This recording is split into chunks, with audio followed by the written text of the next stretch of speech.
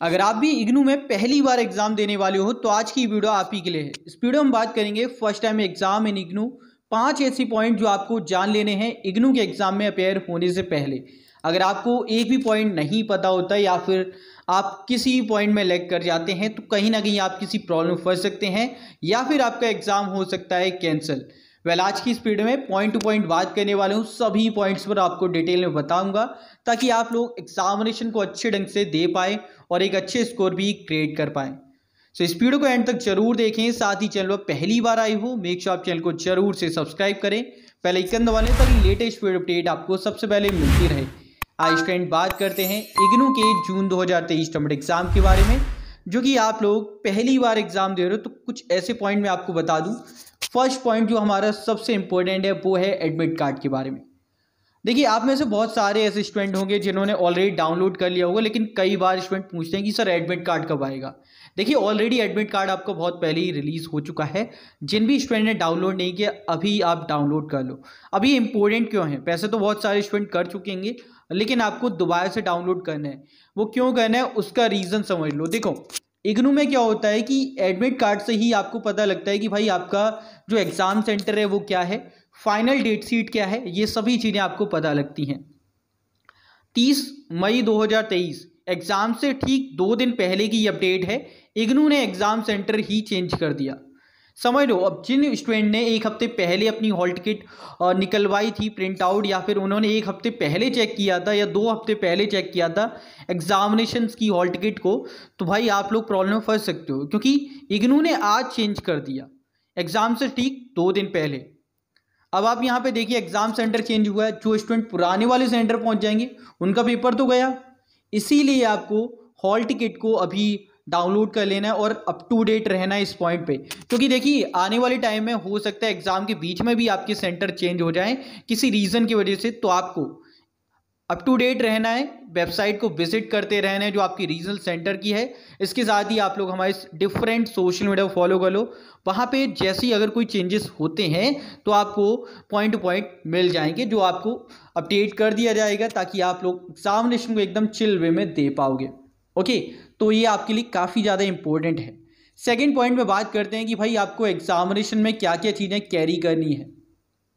वैसे इसको लेकर तो मैं ऑलरेडी एक सेपरेट वीडियो बना चुका हूँ, उसे आप देख सकते हैं, जिसमें मैंने डिटेल में बताया, बाकी यहाँ पर लिस्ट ऑफ़ आइटम्स दे रखी हैं। इसके अलावा भी मैंने चीज़ों में बात की है कि आपको क्या क्या कैरी करना है।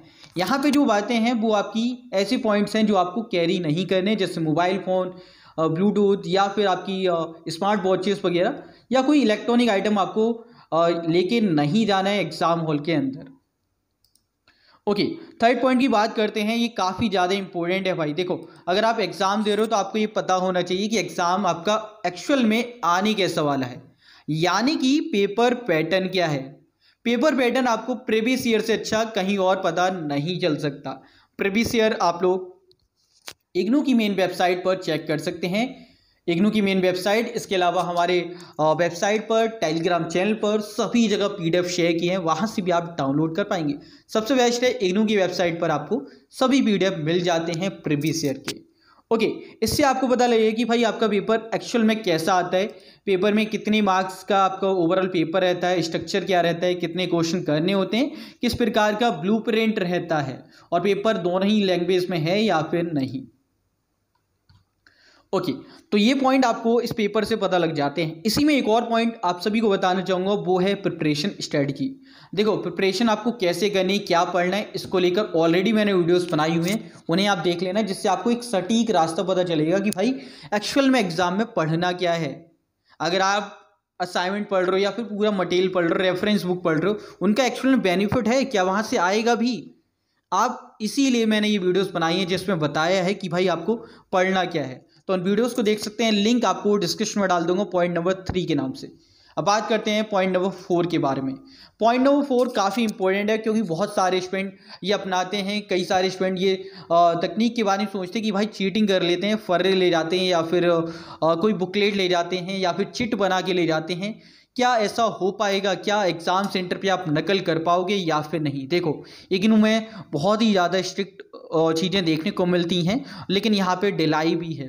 ठीक है स्टिक कैसे है कि अगर आप एग्ज़ाम हॉल में कुछ भी लेके जा रहे हो तो वहाँ पे आपका यूएफएम लग सकता है। वहीं अगर आप पैसे दे रहे हो तो सेंटर वाले आपको सब कुछ अलॉट करा देंगे। आप वहाँ पे मोबाइल फ़ोन भी ले जा सकते हो बुक्स भी ले जा सकते हो। मतलब समझ लो वहाँ पे पैसे दे के भी ऐसा कई सारे सेंटर्स पे होता है। ये ऑलरेडी मैं बता चुका हूँ और आने वाले टाइम में मैं प्रूफ भी आपके साथ में शेयर करूँगा। बाकी आप में से बहुत सारे स्टूडेंट इस बारे में जानते भी हैं। ओके तो ये हो गए हमारी फोर पॉइंट जो कि यूएफएम के बारे में बताया कि भाई अगर आप चीटिंग करते हुए पकड़े जाते हो तो आपको पूरा सेमेस्टर लॉस हो सकता है। आपका रिज़ल्ट डिक्लेयर नहीं होगा, पूरे सेमेस्टर में ही बैकलॉग दे दी जाएगी। वहाँ पे लिखा आएगा यूएफएम केस अब बात आती है कि एग्ज़ाम दे दिए। एग्ज़ाम से पहले दो चीज़ें आपको और पता होनी चाहिए। एक पॉइंट है पासिंग मार्क्स कि भाई मिनिमम पासिंग मार्क्स क्या है? जैसे ये पेपर है, आपका फिफ्टी मार्क्स का पेपर है तो इसमें कितने मार्क्स होंगे? अगर हम बैचलर डिग्री की बात करें या मास्टर डिग्री की बात करें, एक पर्टिकुलर कोर्स वाइज कितने पासिंग मार्क्स होते हैं? वैसे thirty five and forty percent रहता है। बाकी कोर्स वाइज मैंने वीडियो में बताया कितने परसेंट आपको और कितने नंबर किस पेपर में लाने हैं पास होने के लिए। ज़रूर से चेकआउट करें लिंक आपको डिस्क्रिप्शन में मिल जाएगा। आगे बात करते हैं एक और पॉइंट के बारे में रिज़ल्ट के बारे में। रिज़ल्ट कैसे अपडेट होता है, कहाँ पर आपको चेक करना है तो इसके बारे में बता देते हैं और कब रिज़ल्ट आता है, ये भी जान लीजिए। आपके एग्ज़ाम चल रहे हैं, उसके लगभग वन मंथ के बाद में समझ जैसे आपका एग्ज़ाम हुआ, उसके लगभग वन मंथ के बाद अपडेट आने स्टार्ट हो जाती हैं। तो आप जो पहली अपडेट देखोगे जून 2023 टर्म एग्ज़ाम की, वो आपकी जुलाई की लास्ट वीक तक या मिड जुलाई तक आपको देखने को मिल जाएगी। क्योंकि ऐसा ही इग्नू में हर बार देखने को मिलता है। आपके वन मंथ के बाद में आपके रिज़ल्ट की अपडेट आना स्टार्ट हो जाती हैं। और ऐसा नहीं है कि फिक्स डेट में आपकी अपडेट सारी आ जाएँगी। ये पॉइंट टू पॉइंट रहता है डे वाइज रहता है, कई बार बहुत ज़्यादा डिले होता है। अभी जो लास्ट टर्मेट एग्ज़ाम हुए हैं, जैसे दिसंबर 2022 टर्मेट एग्ज़ाम उसकी भी रिज़ल्ट की अपडेट अभी रिसेंटली आई है। तो आप लोग समझ लीजिए कितना डिले भी देखने को मिलता है।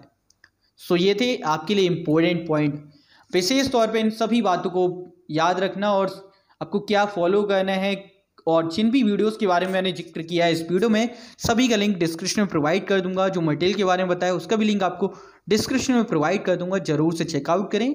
बाकी आज की वीडियो अगर पसंद आई तो लाइक कर देना शेयर कर देना।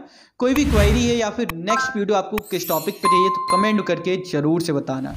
बाकी आज की इस वीडियो में इतना ही। मिलते हैं एक और नई वीडियो में। तब जय हिंद, जय भारत। बाय दोस्तों।